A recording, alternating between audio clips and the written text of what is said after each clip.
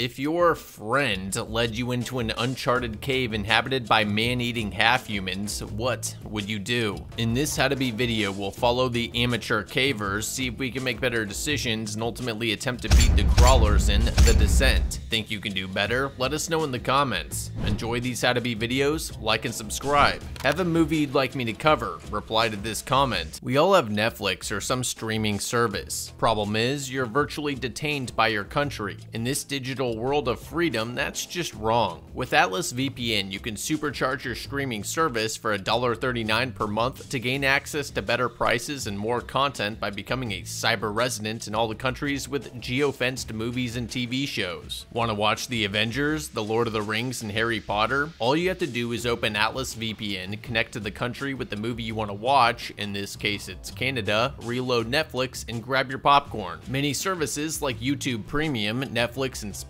have their pricing adjusted based on different regions. By switching your location to India, for example, the service price will see a huge drop. How does Atlas VPN do it? When you connect to an Atlas VPN server, your device is given a new IP and DNS address. All of your traffic is encrypted and routed towards the VPN server, where Atlas decrypts it and allows the traffic to access the desired destination. Atlas VPN also has a whole suite of other great features like its data breach monitor. Pop your email address into the tool and it'll scan the internet to see if your email and password accounts were compromised in a data breach, so you know to change them. Atlas VPN is running a huge discount on their three-year deal for just $1.39 per month with a 30-day money-back guarantee. The deal won't last for long, so make sure to check it out by clicking the link in the description. Alright, let's get to it. We start out following three sassy adventurous ladies whitewater rafting. After they break through the rapids, Paul shares a moment with Juno before driving home with his wife and daughter. He starts daydreaming about slowly taking off Juno's wetsuit while behind the wheel, and veers out of his lane.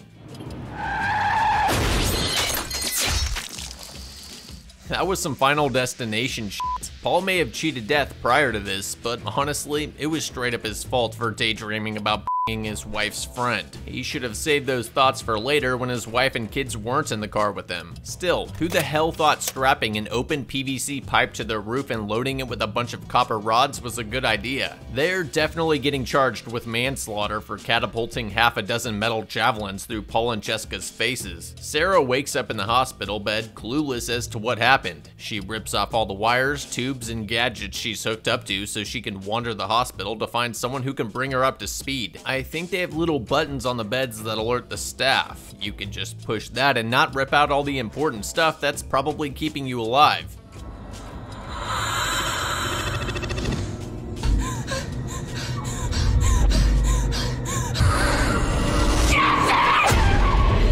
Oh, it was a PTSD nightmare. Yeah, I guess it makes sense that you'd be fairly distraught and impulsive. Juno's gotta be feeling a little guilty about sending Sarah's husband Bedroomized pre-crash. One year after the incident, Sarah, Juno, and Beth get back together to go spelunking in the Appalachian Mountains. They're joined by two inexperienced sisters, Sam and Rebecca, as well as Juno's half-reckless, adrenaline junkie base jumper friend, Holly. Holly laments that the cave they're about to explore is just a tourist trap that offers no real challenges probably has a gift shop in it. I haven't read the brochure for the cave diving adventure you're embarking on, but I have read the synopsis of this movie, and I gotta say, I'm not sure we're talking about the same cave. Sarah seems resentful of Juno for ditching her the day after the crash, as she should be, and is obviously still traumatized by the horrific loss of her family. I mean, she's keeping antidepressants bedside to cope with her night terrors. All this to say, taking Sarah spelunking with two noobs being led by the person she resents who will be encouraged to push her limits by her adrenaline addict friend doesn't seem like the greatest idea. Maybe it would be okay if the cave was a tourist trap with a gift shop inside, but I'm gonna guess that it's unmarked or was sealed up by the locals for a grave reason that they'll ignore. Holly mentions that it's a level 2 cave in the fictional Boreham Caverns. I'm not sure level 2 is even a thing. What cave they think that they're headed into doesn't really matter because Juno left the guidebook in the glove box for some stupid reason. Worth mentioning that everyone in the group should have a copy of the guidebook or map of the cavern that they're entering in case they get separated or lost, or, you know, so they can actually find their way around. On their two mile long hike to the entrance of the tourist trap, they run into the throat cut carcass of a bull elk. nature, or bad omen. They reach the entrance and everyone rappels in. Sarah notices what looks like a blood-stained handprint on the wall and neglects to tell anyone about it because it's probably nothing, just like the elk was probably just attacked by a bear. Sarah looked like she was about to get impaled by a copper rod. I still don't think bringing a PTSD-stricken person cave diving was a good idea. Sim asks which way they need to go next. Juno replies that there's only one way out of this chamber, down the pipe. Before hard holstering her ice climbing axe? Why does she have an ice climbing axe? Why is everyone following someone who brought an ice climbing axe into a cave that has no ice? If ice climbing axes were required tools for this expedition, why is Juno the only person with one? It's not looking good here. You know what would have been a good idea? Bringing ascenders instead of a ice climbing axe so you can climb out the way you came in in case the tunnel's blocked, flooded, your equipment fails, or you run into homicidal cave golems. The cave very well could be flooded, with all the water pouring into it. I'm also gonna take a hot guess and say that they didn't inform the park rangers, let alone anyone of their plans. Once inside the cave, they light some flares and hang out for a few. Sarah hears the giggling of her deceased child and wanders off by herself to see if Jessica got a head start on them. Can't wait to see how she does in the claustrophobic confines of the next tunnel they have to go through. Not well. Sarah gets stuck both mentally and physically. Beth goes back and pretty much does everything right. Tells her to breathe slowly, cracks some jokes, and tries to lead her out. The problem is that this cave is experiencing tectonic shifts for some reason. Good thing nobody was on the other side. Or wait, that would be bad because they didn't bring any ascenders or let the park rangers know their whereabouts. And according to Juno, the only way out is down the pipe, so going back wasn't an option anyways. According to the guidebook. According to the guidebook nobody brought, which from your memory contradicts what Juno said about there only being one way out. You didn't say anything at the time and now you're here. Turns out Juno was bullshitting them and led them down a different unmarked cave so that everyone would be dependent on her so she could play the fearless leader role. Needless to say, it backfired hard. Leading a group of noobs into an unmarked, unmapped cave that nobody knows you're at is unbelievably reckless. The fatal accident in the Nutty Putty Cave serves as a stark warning of this. Even in well-mapped caves with experienced cavers who had expert backup, a man still lost his way and got irretrievably stuck. The fact that this is an unmapped cave means that there might not be a way out at all, which means Juno is even more of an idiot, if that was possible, for not bringing ascenders to climb out the way they came. And Juno was concerned about Holly being reckless. Speaking of, if Holly had experienced Boreham Caverns previously, she must have known Juno was leading them elsewhere and didn't say anything. Both of you are untrustworthy bitches. Still, it's not all on Juno and Holly. In caving, the consequences for entering the wrong cave are exceedingly high. Everyone should have been checking their guidebooks and making sure that they were in the right area and going into the right cave. Juno is right about one thing. If they stay, they die. While everyone's fighting, Sarah's scouting around with her headlamp. Have you any idea what she's been through? No, you couldn't get. Strange, but she doesn't say anything. I could see her passing this off as more PTSD hallucinations or the darkness playing tricks on her eyes. The clicking sounds could be passed off as more bats or something. The journey deeper into the cave in search of an exit is halted by a gigantic underground precipice. Judging by the time it took for that rock to hit the ground, a fall would be fatal. Juno pops some flares and spots a tunnel across the cavern. Could be a dead end, but they don't really have any other options. Rebecca volunteers to trad climb the overhang and rig up a line using cams. Nice of you to volunteer and maybe you are the only trad pro here, but shouldn't the self-proclaimed badasses Juno or Holly be the default choice for this high-risk operation considering they got you all into this mess?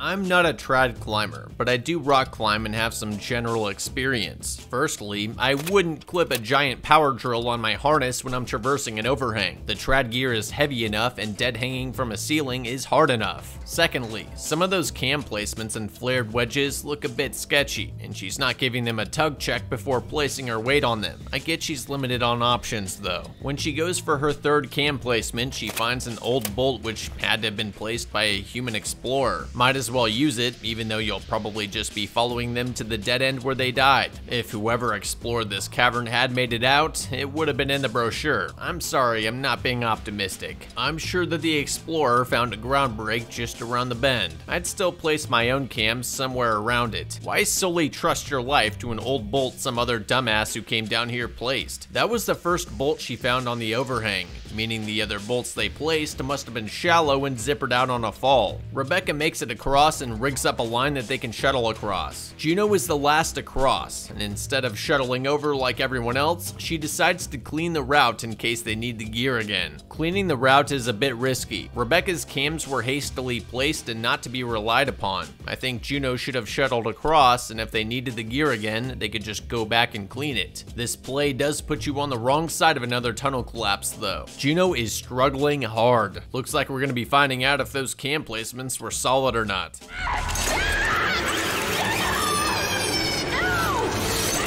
What the hell was Rebecca doing? There is no reason the rope should have slipped her hand like that. I don't think her figure eight belay device was set up properly. It doesn't look like the rope was looped around its neck. That and her hand wasn't in the brake position, which it should have been. Her belay gloves also suck because that little amount of rope slip caused enough friction burn to cut straight through her hand, forcing her to dump the rope. I want to say Juno was lucky because she wasn't also relying on Rebecca's cams, but I don't think that bolt is any better. Hey, at least you got your gear back. Further into the cavern, they find a mural. How did the Homo sapien artist get up there to paint it? That's like 20 feet up on a smooth wall. Beth remarks that it's a map. There's the mountain they're under, with the cave that they're in, and two exits. I think that's a bit of a stretch. Even if it's a map and there is an exit, there's no directions as to where the exit is. Nobody notices Smeagol trailing them, so they blindly march onwards, only to end up at a fork in the cave. Juno, using her lighter as a barometer, catches an air current in one of the passages, which means it likely leads to the surface. At least she's a clever idiot. Holly mistakes phosphorescent rock for daylight, takes the idiot baton from Juno, and sprints down the corridor and falls into the mouth of another cave.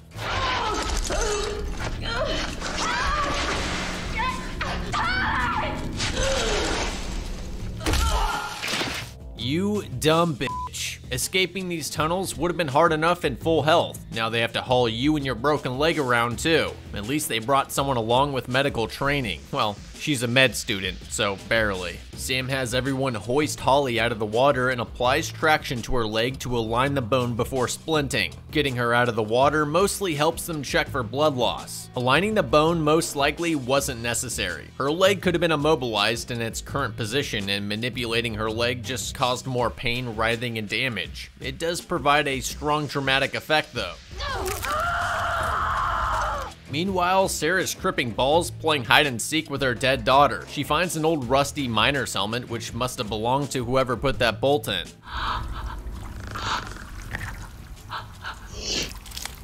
Looks like he's not doing so well. Of course, nobody believes her. Why would they? Sounds psychotic, and Sarah's been known to have hallucinations. Sarah has the total opposite reaction that I would expect. She wants to see if that man thing she saw could help them find a way out. I don't even know what to say to that. If I was in this group and somebody told me that, sure, I wouldn't believe them but I'm gonna place myself in the middle of the pack just in case. The crew continues to follow the air current, which leads to a room filled with bones of dead animals, probably some humans. I'd say this is ample supporting evidence for Sarah's monster sighting. Best start fashioning weapons out of the bones and anything else you can find. Juno can't find a breeze and doesn't know which way they need to go, so Sam and the others start yelling for help like imbeciles. Yeah, good idea. Let's attract the thing that slaughtered hundreds of animals that were bigger, stronger, faster, and let's be honest, smarter than you.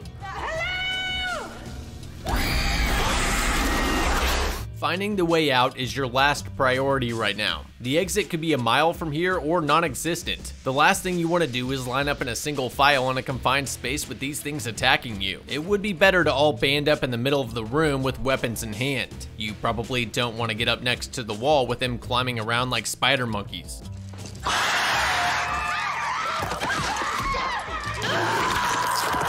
Wow, literally nobody stayed together. Now they're all easy targets to get picked off one by one. Juno puts up a hell of a fight against two of the golems and shanks one of them dead with her ice axe. Who knew that thing would come in handy? Beth runs back to help Juno, but Juno's in full rage mode. Probably shouldn't have snuck up behind someone who just fought to the death. So many movies do the whole friendlies almost kill each other thing, but back down before a fatal blow is dealt. I'm glad this movie took it there, because realistically, friendly fire happens a lot more than we like to admit. Rebecca's headlamp ran out of battery. Apparently, she decided that instead of packing spare batteries, she'd just bring a giant glow stick that's totally useless at lighting up the cave. So useless that she unwittingly walked right under another crawler. Now that there's a lull in the violence and the crawlers are distracted eating your friend,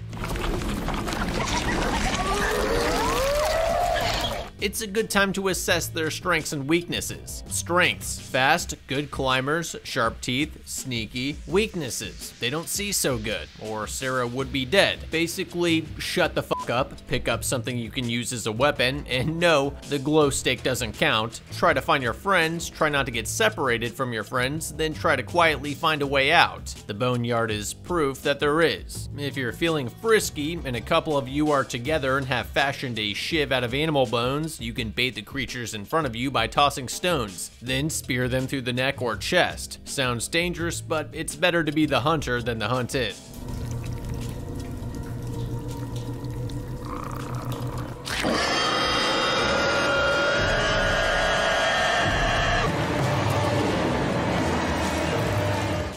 Could spoon each other in a corner while crying in hopes that your friends make a noise which distracts the monsters long enough for you to attempt an escape. Oh, now everyone pulls out their ice axes and knives. Where were those when you first got attacked? Sarah also uses her friend's unintentional diversion to spark up a fire torch out of an old oil can on the ground. Clever, but I'm not gonna award her any points for this. Having to be resourceful because of your piss poor planning means that you're still an idiot. Any caver worth their salt would tell you to bring a couple spare sets of batteries at least. Rebecca and Sam are trying to link up with the rest of their group. Difficult when you can't make any sound.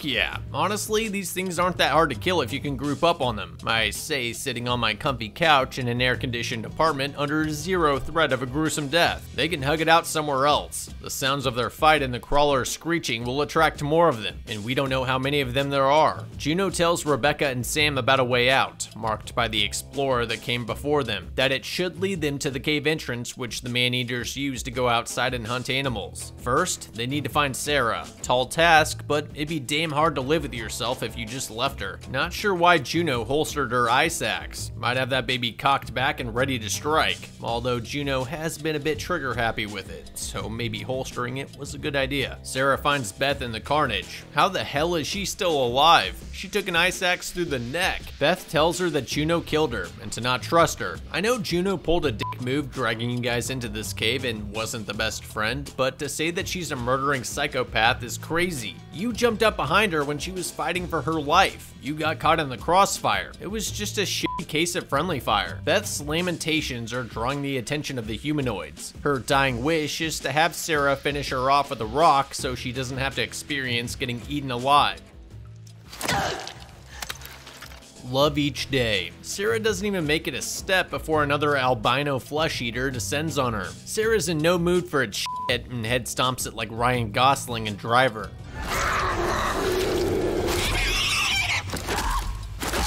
Best to get some distance from the commotion now. You gotta shoot and scoot with these The caveman's girlfriend shows up for date night and finds what's left of his head after Sarah curb stomped him. Needless to say, she's pissed. Sarah makes a run for it and trips into the pond full of God knows what. Haven't we learned by now that running only makes things worse? Standing and moving so incredibly still that you become invisible is the best defense. And where is that pocket knife you had? She is smart to hold her breath, collect herself, and ever so slowly Navy SEAL out of the crawler's toilet so she doesn't make any more noise. Doesn't help her though. The albino bat bitch is onto her. Pocket knife. Where's your goddamn pocket knife? If everyone did a little preparation and planning, they wouldn't have to struggle for a Hail Mary every time they found themselves in a near-death situation. Sarah climbs up onto the rock and freezes when she hears another coming around the corner. It steps on her, but thinks it's just another animal carcass and moves past her. She carefully grabs another bone club, and by the look in her eye, it's time for vengeance. So the tally is one for the crawlers and like five or six for the girls. As long as they have light, they have an immense tactical advantage. These creatures are only human and have all the same weaknesses. Sarah lets out a blood-curdling scream. I don't think she was doing it to get the attention of the others. However, if she was, outright screaming isn't the best way. Your friends may just think you got whacked. Best to yell something like, I'm okay, help me. This way they know that you aren't a goner and it wasn't a man-eater yelling or something. Juno and the others hear her scream and try to get to her, but when Juno turns the corner, she finds an entire family of these things. Juno's team is in a pretty good spot. The corridor is narrow enough that only one crawler can attack at once, but tall enough that she can stand and fight. She could pull a Leonidas and make this passage the proverbial hot gates. The last place you want to be is surrounded in the open, or forced into a crawl with them behind you. They opt to run for it, but get forced back to the precipice. So instead of pulling a Leonidas, you guys pulled a Persian. Sam, in an utterly moronic move, tries to trad climb back across the overhang. There's just no way to fight in that position. It's physically demanding, so you'll be making noise, it achieves literally nothing, and it goes about how you'd expect.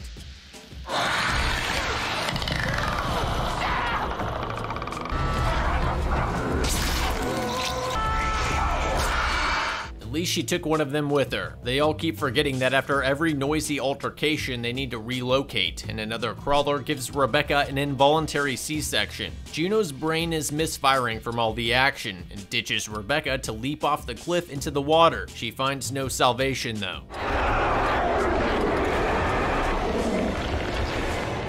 Telling me this thing was holding its breath this whole time after getting shanked and falling? Give me a break. Sarah jump scare pulls Juno up from the slippery rocks. She's lucky her face didn't catch an ice axe. Juno and Sarah go back to back Tomb Raider style against the rest of the crawler family.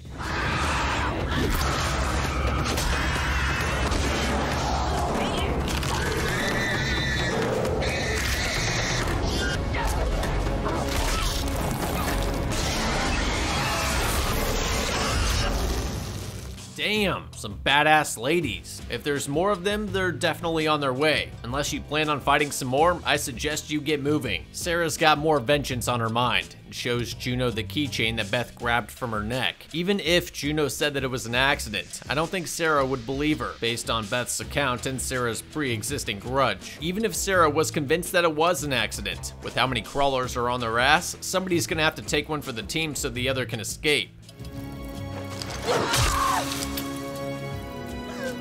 Sarah leaves the gimped Juno and makes a lucky break for the exit. The movie ends with Sarah's PTSD going nuclear. Let's recap the pivotal points where different decisions could have altered who lived and died. Whoever poorly secured those copper rods to the top of the car was a total idiot. Paul and Jessica might have survived the crash and there'd have been no need for a validation-seeking reunion trip. Misleading your noob friends into the wrong cave with no ranger backup is a terrible idea. Full stop. Everyone should have had a copy of the guidebook and been checking the routes as they went. They would have realized that they were being led down the wrong cave before the tunnel collapsed and their fates were sealed. These things would have prevented the deaths of the innocent crawlers, which were just acting as animals do, as well as the deaths of Sam, Rebecca, Holly, Beth, Sarah, Soul, and as far as we know, Juno. All said and done, I think we could have beaten the crawlers from the descent. Thanks for watching, and remember, don't go spelunking with egotistical lunatics or PTSD victims.